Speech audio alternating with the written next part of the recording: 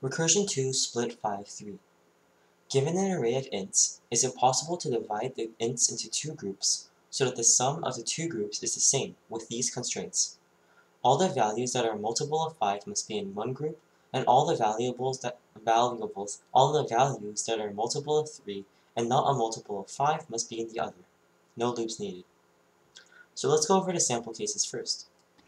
So here we have the sample case 1, 1.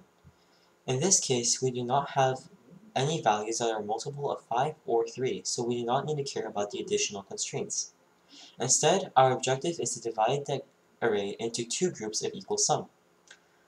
Those two groups can be 1 and 1. They both have equal sum, and therefore this is indeed possible and we return true. Here we have the case 1, 1, 1. Again, we do not have values of 3, multiples of 3 or 5, therefore all we need to do is try to split this array into two groups of equal sum. However, it, um, you, you can note that it, that isn't actually impossible. Um, so an easy way to uh, check this is um, by noting that the sum of all of these elements is 1, 1, 1, so 3. 3 is odd. It is impossible to, um, to partition this into three sorry, into two groups of equal sum and have them um, add up to 3. This is because, for example, if they equal, both equal um, x, so if one group equals x and the other group equals x, then the total is 2x. This implies that the total sum is even. The total sum for this is odd, therefore it is impossible to create two groups of equal sum, so we return false. Here, we can create a group with 4 another group with 2 and 2. They both have the sum of 4, so it is actually possible to divide the two groups into, sorry, the array into two groups of equal sum. Additionally, because there are no multiples of 5 or 3, we do not need to care about the constraints. So um, here we return true. So how do we solve this problem? Remember, the, uh, remember how we solved the other partitioning problem, which was split array and also how we solve split odd 10. So the way we solve those um, problems, we're dividing the question into a recursive step and a base step, base case step. So the base case step was this case in which we had nothing left in the array that we hadn't already placed into group A or B. Since we have no more elements to place into group A or B, we only re return true if A and B are equal to each other. If they are equal to each other, then we successfully partition the groups, partition, sorry, partition the elements correctly and created two groups of equal sum, therefore we return true. Otherwise, we return false. For the recursive step, we look at the element that the pointer is currently placed at. So for example, i might be placed here, or here, or here. If i is placed here, then the base, um, this would we would um, use a base case step because there are no more elements to consider.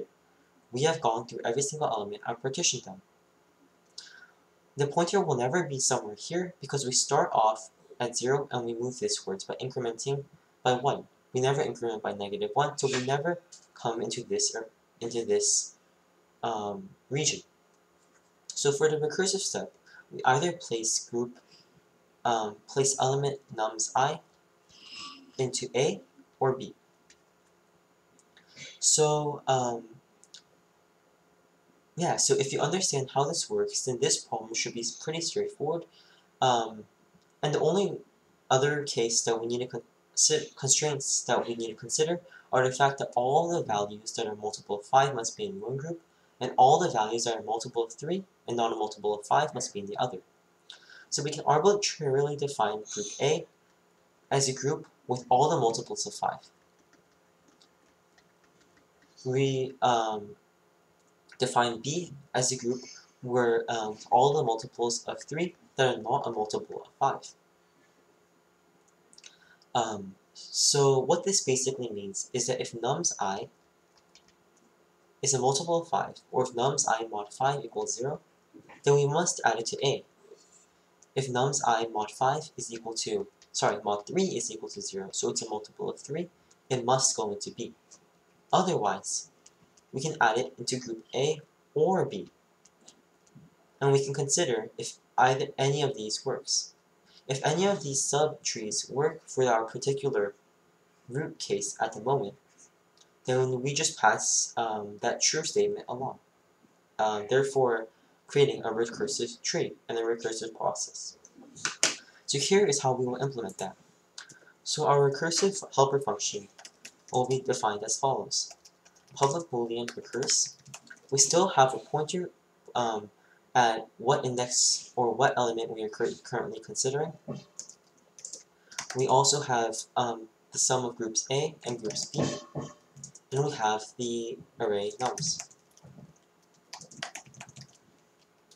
For our base case, if we are in the region here, and we have considered all of the elements, we have nothing else to consider, A and B are finalized, we need to check if A and B follow the constraints. This is when, um, so this means that I is greater than or equal to nums.length.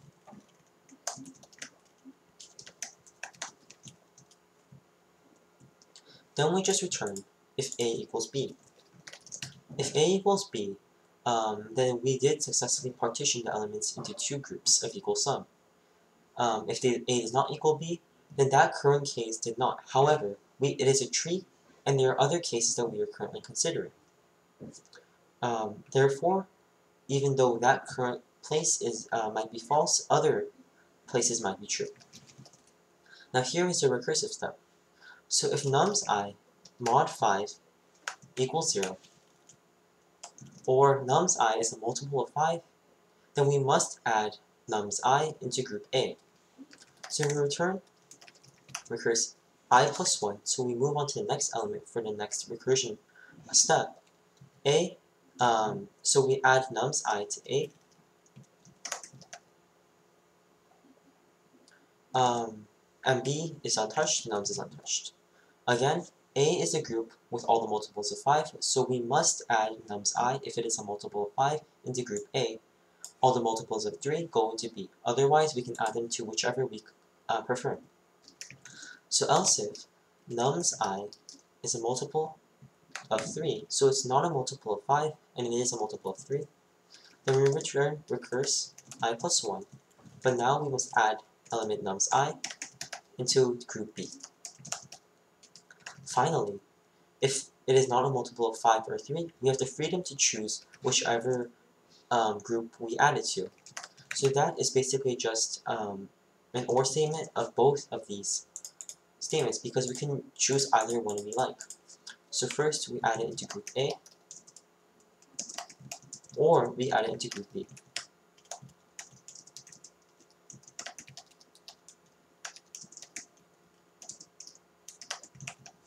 and that is a recursion. So let's run it. Oh, um, so it, again, logged out. I'll just make sure to log in real quick.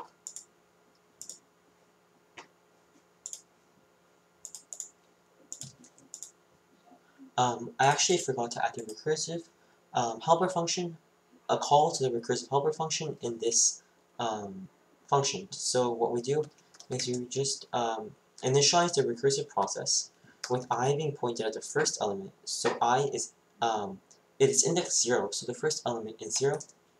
a and b are both empty, and nums is untouched. Again, i, this value, is what we are, uh, represents um, this, which is basically the pointer um, by which we're moving through the.